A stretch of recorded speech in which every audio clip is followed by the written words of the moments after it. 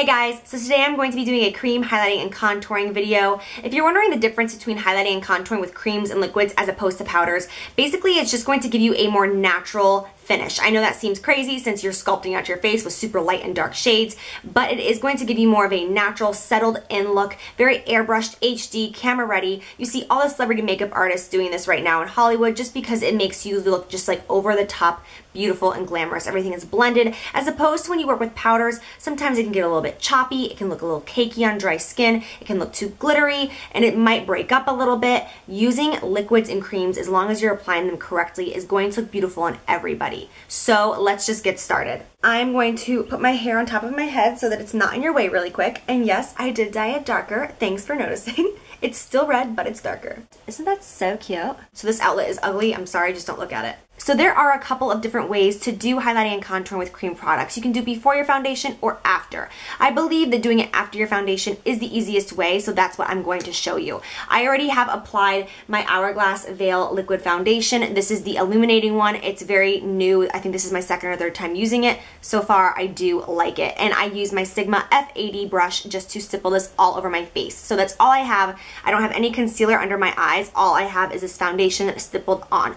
When you're applying your foundation before you highlight and contour with cream products, make sure you do not put a heavy amount on. I literally used one full pump and I just stippled all around my face and that's enough because you're going to be putting more products on so you don't need to do a full coverage amount of foundation on the face. Just make sure you do not apply a powder foundation because powders can never go before liquids. You have to make sure powder is the last thing to ever touch your face. If you put a powder first then a liquid, it's going to break up like crazy. So just keep that in mind. First product I'm going to use is this MAC Prep and Prime Highlighter in shade Light Boost. This is the yellowy green shade. There are two others, Bright Forecast and Radiant Rose. Radiant Rose is a more pink color and Bright Forecast is more a peach shade for much darker complexions. The reason I'm using Light Boost, which is more yellowy green, is because of my skin tone. I have a little bit of yellow in it, so if I were to put pink on, it would make me look very washed out and zombie-ish. Now, I do use the pink tone under my eyes because if you're using yellow on the face and foundations and highlighters, you do want to use the opposite shade under the eyes,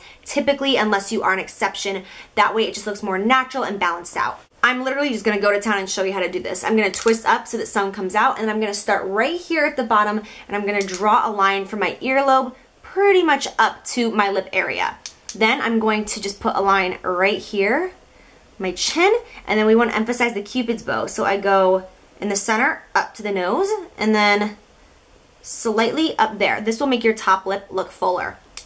Then I'm to go around here because a lot of times we get shadows in areas like this and redness. So I'm just going to go in and fill that in. And then I'm also going to bring it down here so that this area doesn't sink away. I know I look crazy.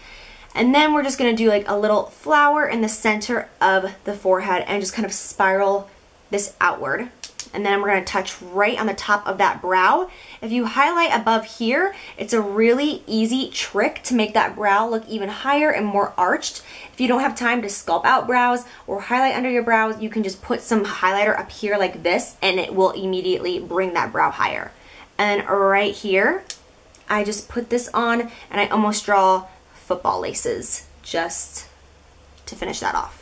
and then I take my F80 and I just go ahead and blend this all in. And you can move in any motions you want, circular motions, dragging motions, whatever you're comfortable with. When we get up in here, make sure you're working outward from your nose area. So make sure you're blending down and you're dragging this all along that top area of the lip. Because if you notice a lot of times throughout the day, Foundation can cake up on your top lip area and almost make it look like you have a semi-mustache, if that makes sense. And putting that lightness up there will make sure that you don't get like any dark pigmentation or foundation gathering up. It'll keep it light. Work upward and outward, blending all this together.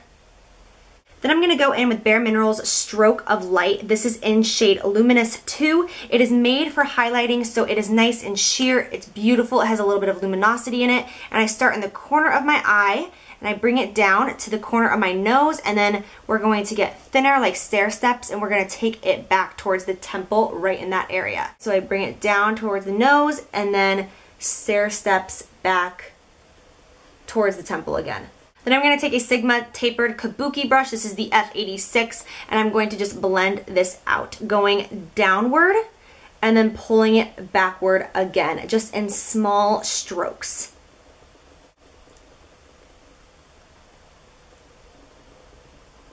Now I'm going to go in with my actual concealer and since I've already done so much highlighting I don't have to use too much of it. So I'm using the MAC Pro Longwear Concealer and I am using shade NW20 and then with my ring finger I'm just going to take a little bit of it and I'm going to tap inner corner and then below it and then on the side just three dots on each eye and then blend this out.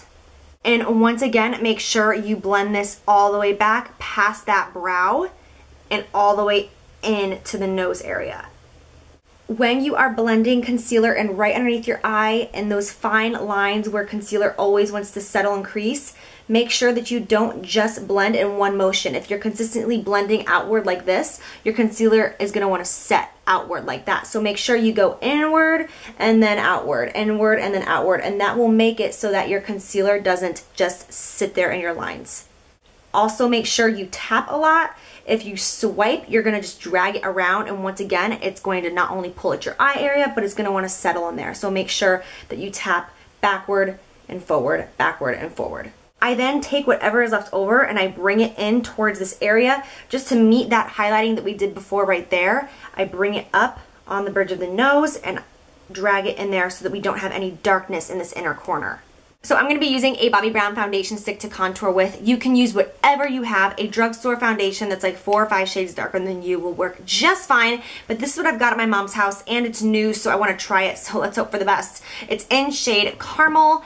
It is about four to five shades darker than my skin tone. So we will see how this works. I'm going to use a Sigma Angled Kabuki brush in F 80 is the number of it. And I'm going to just make sure that whatever product you do pick up, you get on the tip of the brush especially and it really doesn't matter how much you get because it's going to be harsh no matter what and you're going to blend it out. So just get it on the tip of that brush.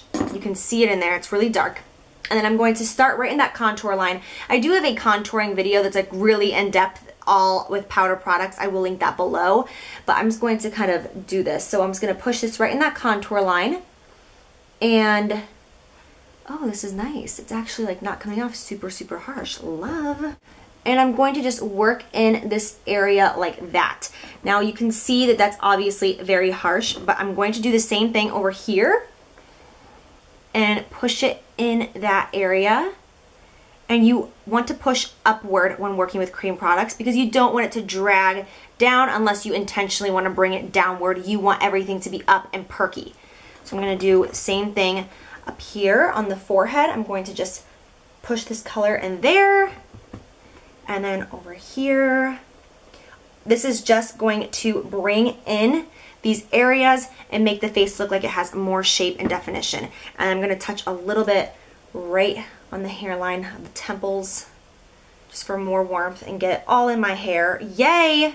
Then I'm going to take just a little bit right here on the bottom of my jawline just to blend everything together. I'm just going to take a paper towel and I'm just literally wiping off like this so that there's not tons of that cream product still on it. And then I'm just going to go back and I'm going to work in circular motions. Over here, you want to blend the sides down more than the center. If you have a large forehead and you want to make it look smaller, you can bring this down pretty harshly to make your forehead look smaller. If you don't have that issue and you just simply want to contour, I like to leave this area kind of blank right in here and that will look more natural. I'm going to take this Sigma All Over Blend Brush in E37. This is in their Perfect Blend Kit.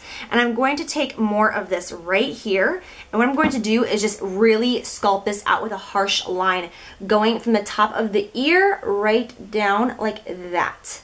And it's going to be a pretty small line, but I want it to be more harsh just so that we can get a little bit more intense contour.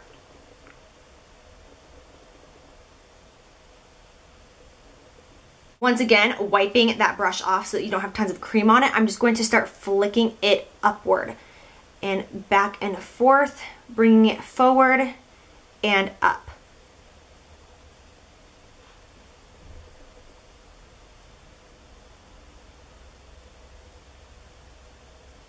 And then I'm just going to go over it so that there's no harsh lines and we don't have like that crazy line anymore. You can see the difference between this side and how it's blended and this side and how it's much more choppy. So that's what this brush is for. So just use that angle to bring it down. Try not to go any higher than like up here.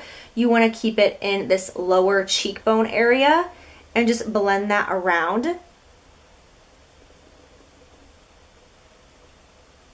So last thing I do in that step is I just go back with the F80 that I originally applied foundation and blended in my highlight and I go from the corner of my lip and then I drag it back to the ear just to clean up if at all that contour was being blended downward because I don't want this area to have contour on it because that will sculpt out the cheeks the most. So just from the corner of the lip in a swooping motion, just drag it back. You can even go back with the highlighter a second time if you want just in like these areas just to make sure that you didn't get any of that liquid bronzer down there because you don't want this area to be dark at all or that can have an opposite effect and make your face look larger. So you want to make sure that this area right here is nice and light. I'm going to take a tiny bit more of that contour and I'm going to just bring it underneath my lip area and I'm going to create a shadow and lightly buff it downward. Right there. Just being very light-handed with this. And if you go like this, you'll be able to see it, but if you just have your lips normally like this, this is a trick to make your bottom lip look much fuller. Just like putting the lightness on the top of your lip will make your top lip look fuller. So lightness on top, darkness on bottom. And if you line your lips and put on lipstick, it will work and you will have much fuller looking lips.